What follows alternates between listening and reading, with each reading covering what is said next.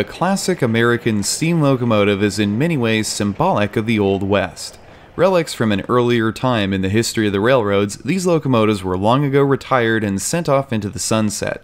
A number of these iconic iron horses were saved from scrap by Hollywood film studios in the 1930s and 40s, living out their second lives as stars of the silver screen, eventually making their way into preservation. Others survived purely by luck. Of all the quaint, wood burning steam locomotives that still exist, only a handful continue to operate. Two such trusty steeds are the Eureka and the Glenbrook.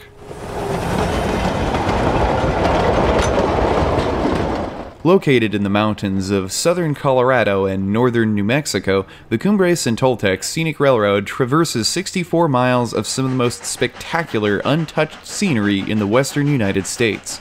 Originally, this rail line was built in the late 1800s as part of the Denver and Rio Grande Railroad's narrow gauge system, with rails spaced just 3 feet apart instead of the more common 4 feet 8.5 inches of standard gauge track. After the Rio Grande filed for abandonment, a portion of this route was saved by the states of Colorado and New Mexico as a tourist line in 1970. To celebrate 50 years of tourist operations, the Cumbres and Toltec Scenic Railroad decided to put on an event that they dubbed the Victorian Iron Horse Roundup. This special celebration was to commemorate the early years in the railroad's history by featuring several locomotives dating from before the turn of the last century. Denver and Rio Grande steam locomotive number 168 was recently restored to service by the Cumbres and Toltec along with a set of vintage passenger cars from the same time period, and this historic train set would be one of the highlights of the event. Denver and Rio Grande Western number 315 was also in attendance, relettered for the Denver and Rio Grande and numbered as locomotive 425. Visiting from the Colorado Railroad Museum, Rio Grande Southern number 20 was also on display in Antonito, Colorado over the course of the event. Without a doubt, though, the stars of the show were two 1875 built wood burning steam locomotives, the Eureka and the Glenbrook. From August 21st through August 29th, 2021, several trips were scheduled over portions of the railroad pulled by these historic locomotives. Come along as we visit the Cumbres and Toltec Scenic Railroad for the Victorian Iron Horse Roundup. The weekend of Saturday and Sunday, August 21st and 22nd, served as a soft open for the event. On each day, one short round trip was made from Antonito, Colorado to Bighorn, a distance of approximately 20 miles. Saturday's trip was pulled by Denver and Rio Grande locomotives 168 and 425, while the Sunday trip had the two woodburners, Eureka and Glenbrook, leading the charge. On the morning of August 21st, we see 168 and 425 leading their train at the top of Gravity Hill, running about 20 minutes behind the railroad's regularly scheduled excursion train.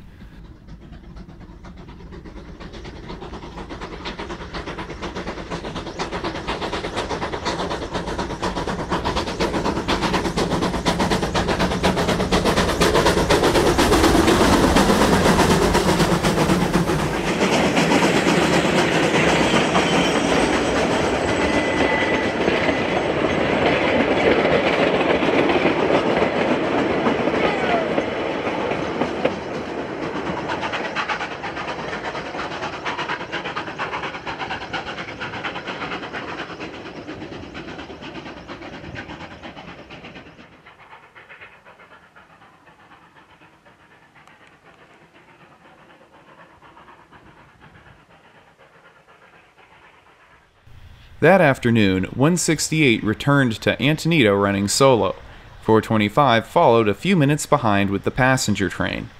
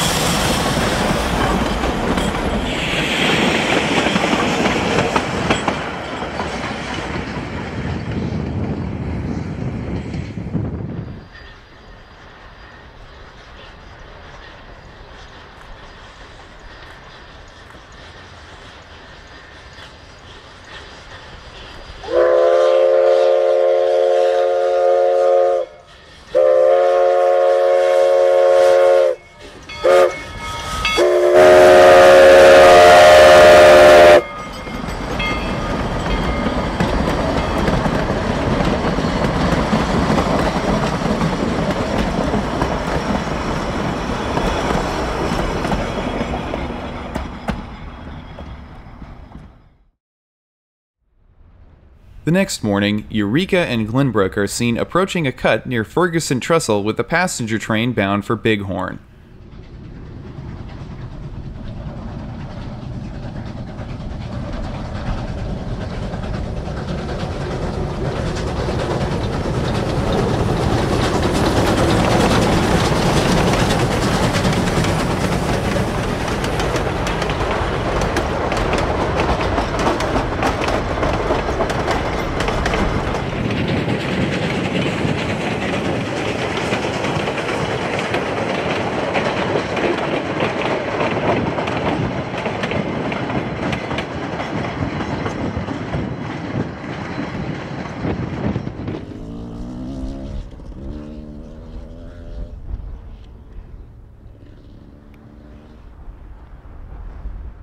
We see the return trip descending the grade on Gravity Hill as some afternoon clouds moved in.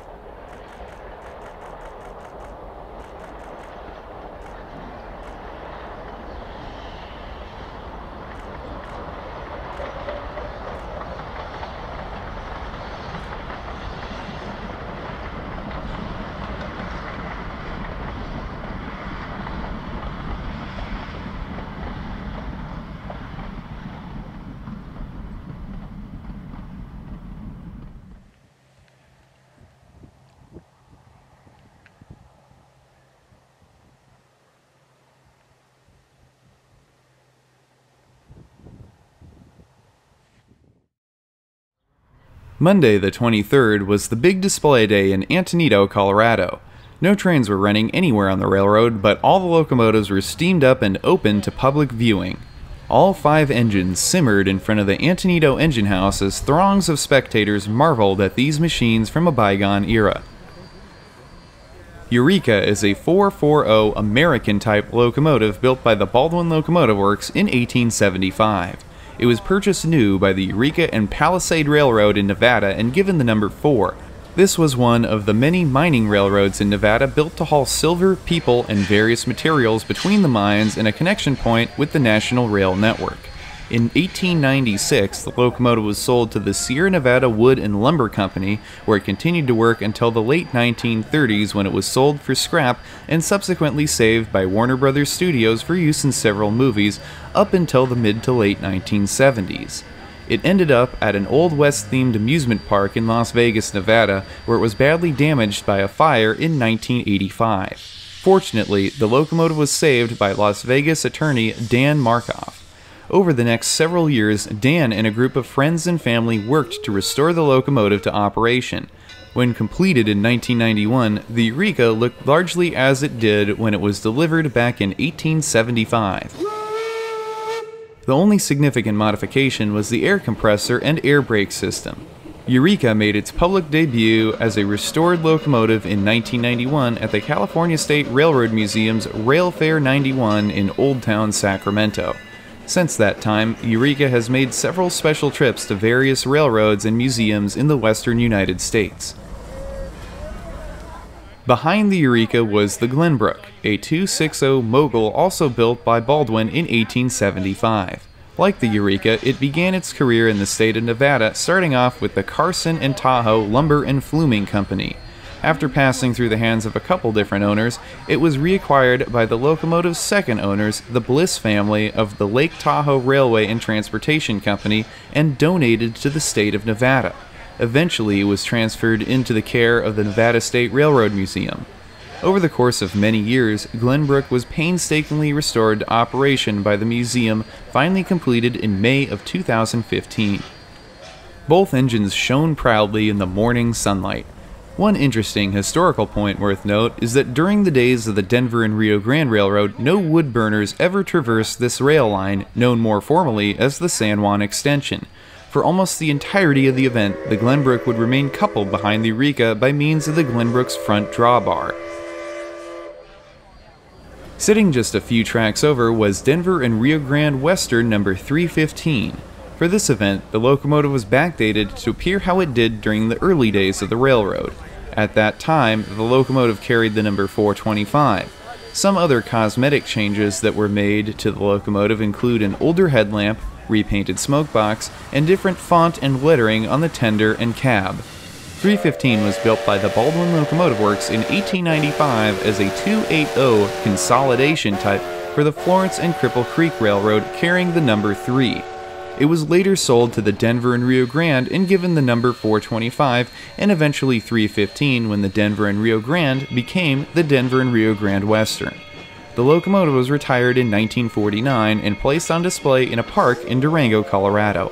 In 1956, the 315 was used in the filming of the movie Around the World in 80 Days. The Durango Railroad Historical Society formed in 1999 to restore the locomotive to operation, a task they completed in 2007. Since then, 315 has operated on both the Durango and Silverton Narrow Gauge Railroad and the Cumbres and Toltec Scenic Railroad.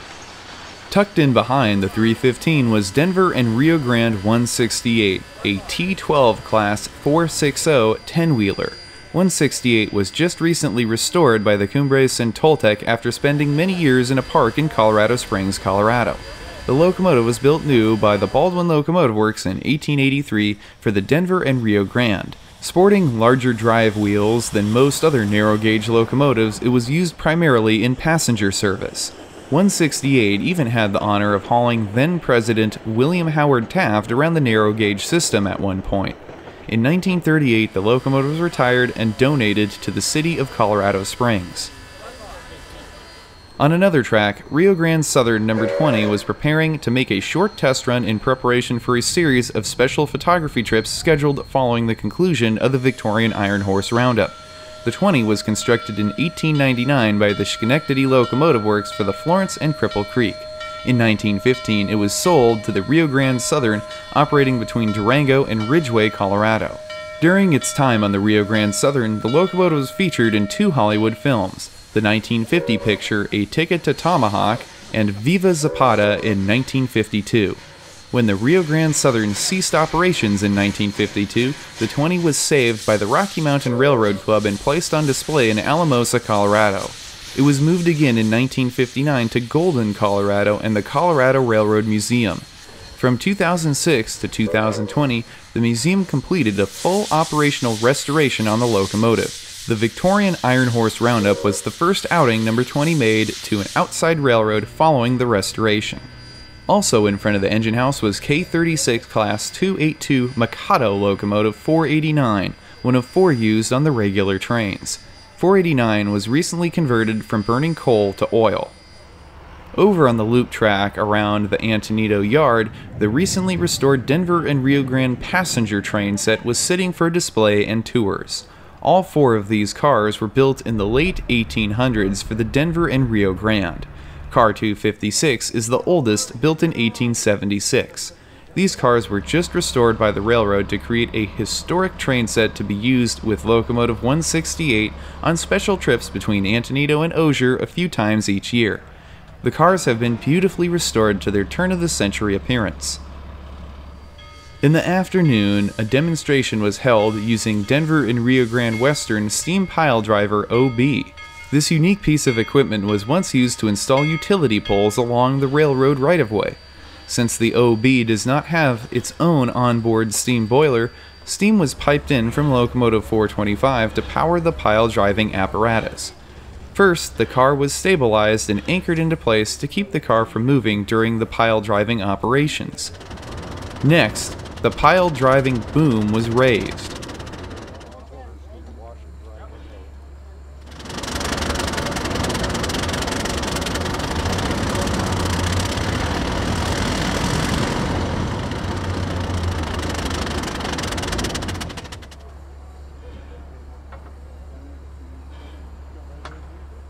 With the mechanism raised, the pile driver was rotated into position and a utility pole dragged into place.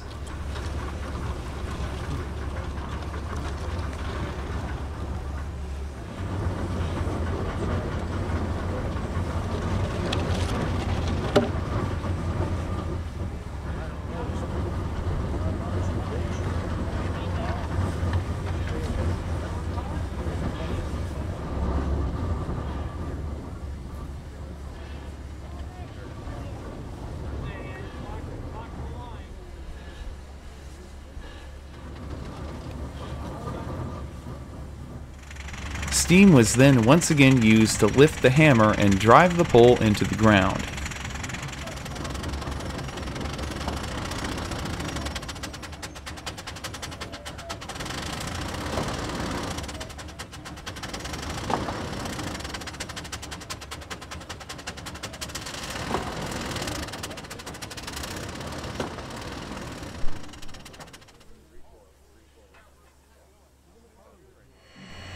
Day's festivities came to a conclusion with a night photo shoot that was held in front of the Antonito engine house.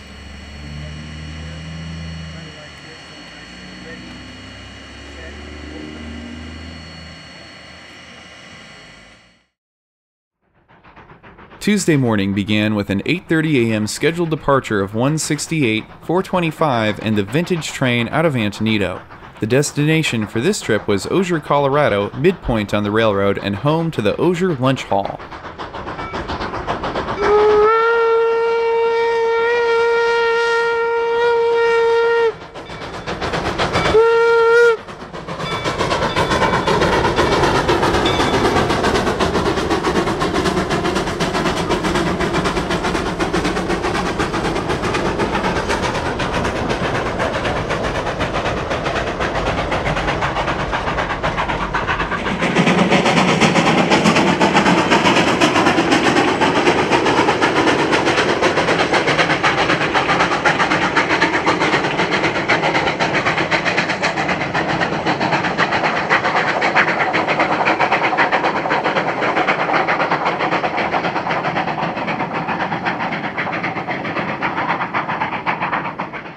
On the other end of the railroad, K36 class locomotive 487 was pulling the regular train up the hill out of Chama.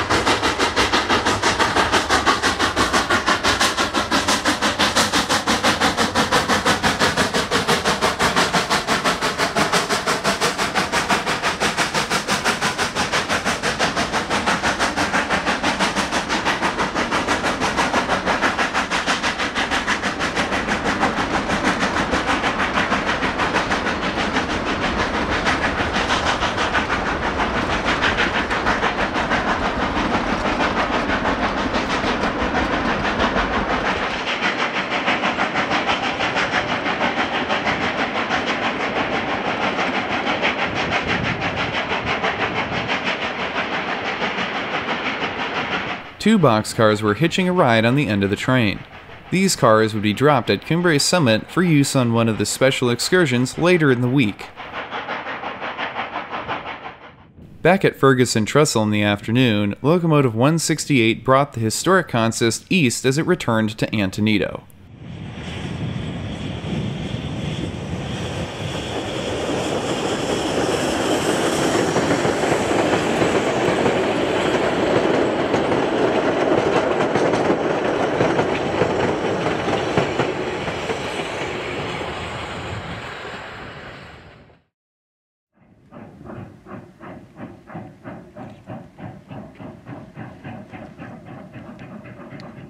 A special photographer's mixed freight was operated using the Eureka and the Glenbrook on Wednesday, August 25th. This trip ran from Antonito to Bighorn and return. After having to change out a bearing on the tender of the Glenbrook at the last minute, the train left Antonito just a half an hour behind schedule.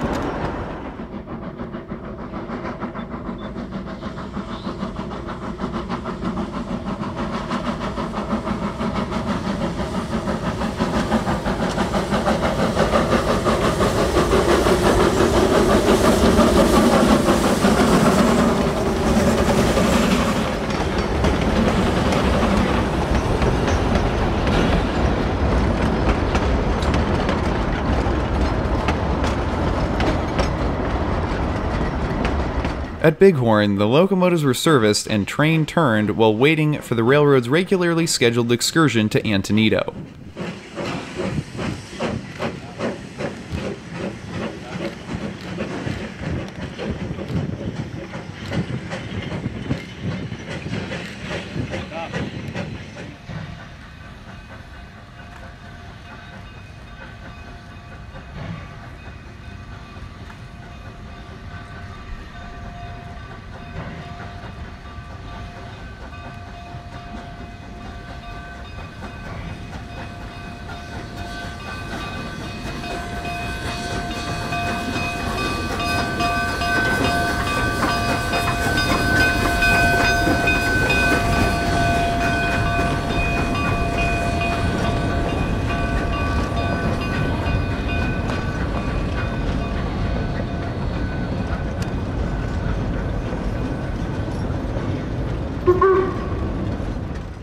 With the regular train out of the way, the special backed a short distance to the west for a photo run by at Bighorn Mountain before proceeding back east.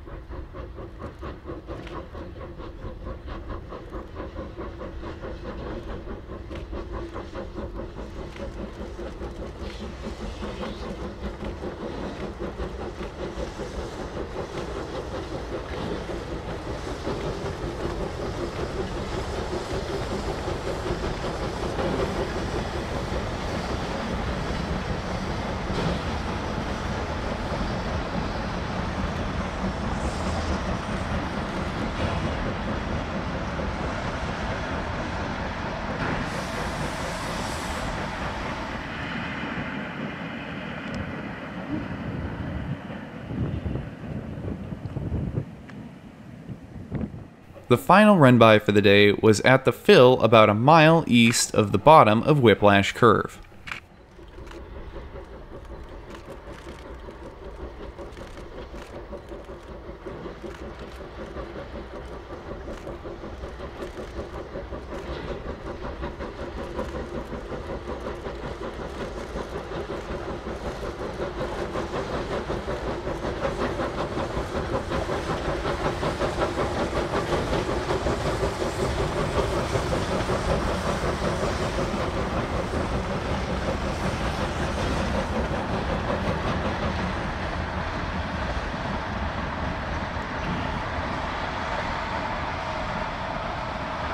Another successful day was in the books as the train made its evening return to Antonito.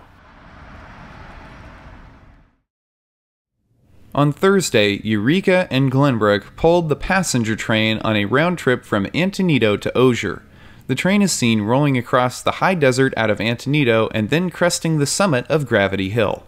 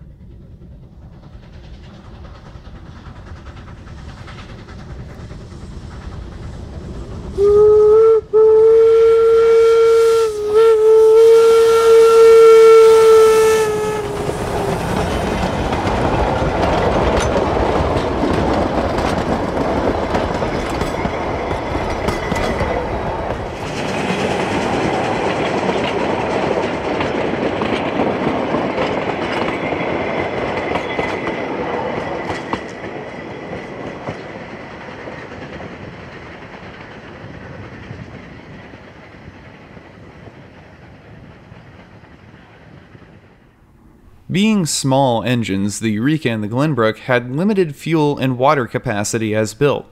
This resulted in the train making several stops along the way to pick up more water and wood.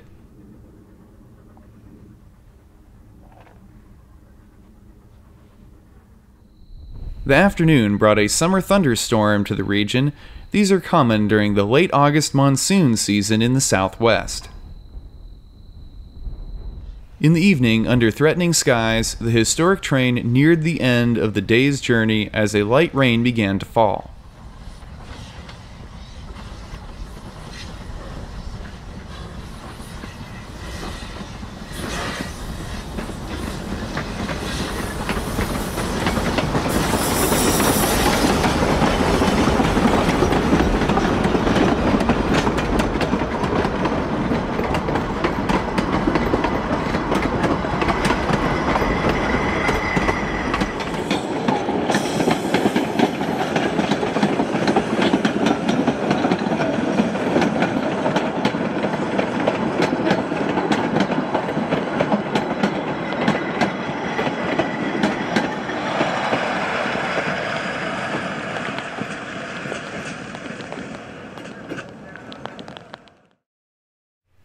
Friday was set to be the only trip over the entire railroad. 168 and 425 pulling the passenger train, and the Eureka and the Glenbrook pulling a short freight train were scheduled to leave Antonito at 7:15 in the morning for a full-day excursion to Chama. The passenger train left a few minutes ahead of the freight, and both could be seen for several minutes racing each other across the desert.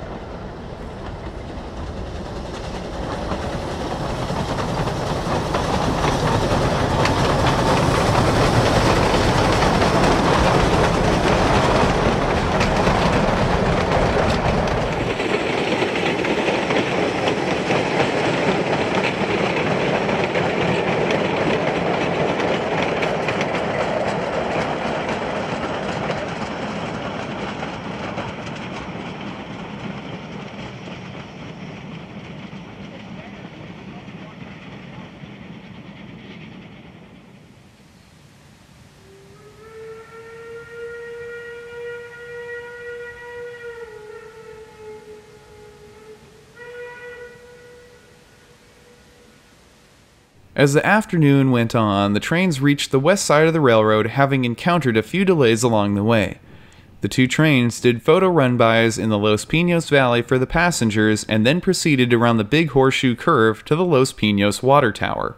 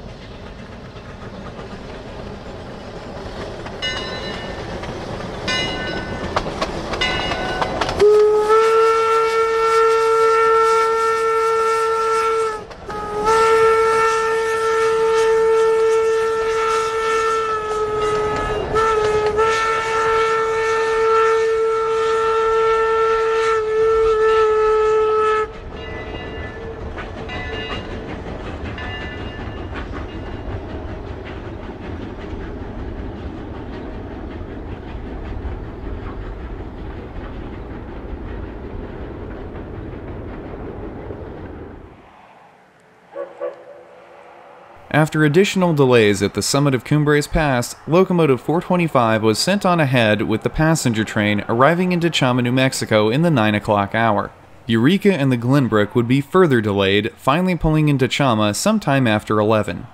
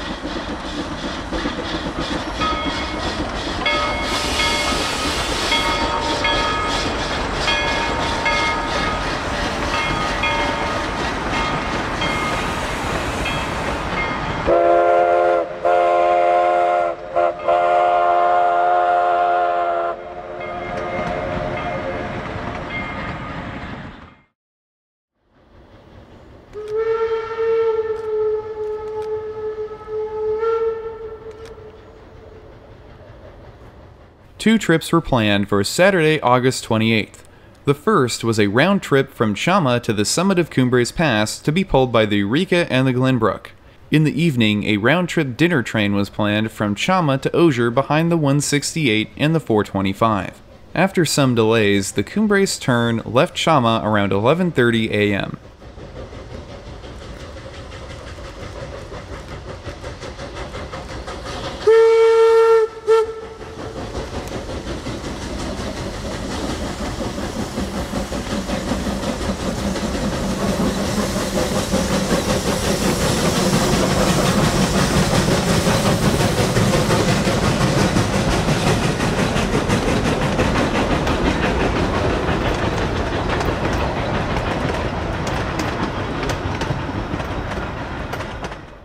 At Lobato Meadows, the train stopped to take on more wood.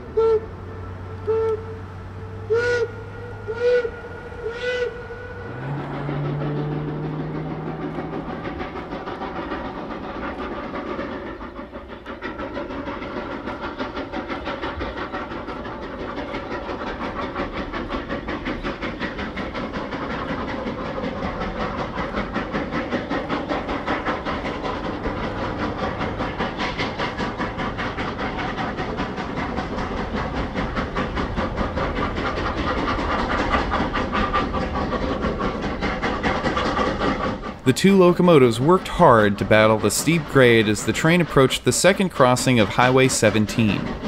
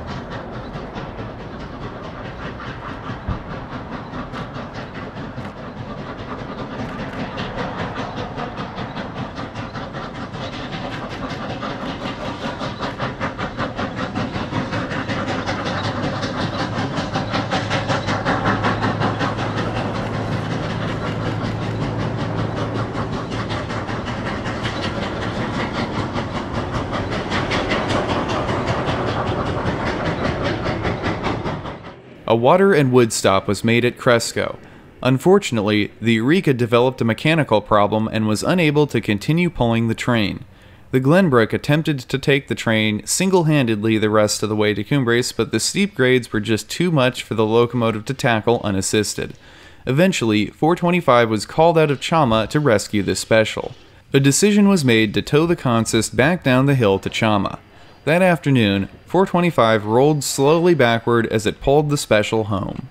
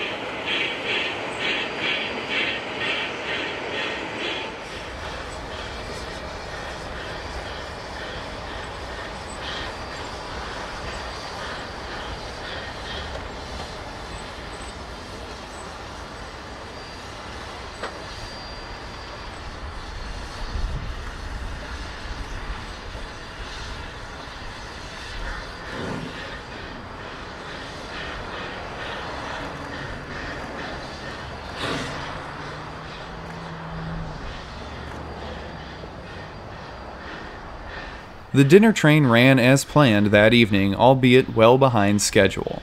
With one last full day of narrow gauge and over a week at the Cumbres and Toltec Scenic Railroad in the books, I decided to bring my trip to a close. The last day of the event, Sunday, August 29th, would see one final special excursion over the railroad as locomotives 168 and 425 would take the historic passenger consist on a never done before overnight run across the entire railroad from Chama to Antonito. The special left Chama a little after 10 p.m., arriving into Antonito on Monday the 30th, just a few hours after sunrise. Thanks for joining me for the Victorian Iron Horse Roundup. The event was a big success and a milestone in contemporary railroad preservation. A big thank you to the Cumbres and Toltec for hosting this monumental event, as well as the Friends of the Cumbres and Toltec, Dan Markoff and his crew, the Nevada State Railroad Museum, and the Colorado Railroad Museum. I'll be back next Friday with a brand new railroading adventure right here on the YouTube channel. That's it for now. Until next time, I'm Mike Armstrong. I'll see you down the line. Thanks for watching.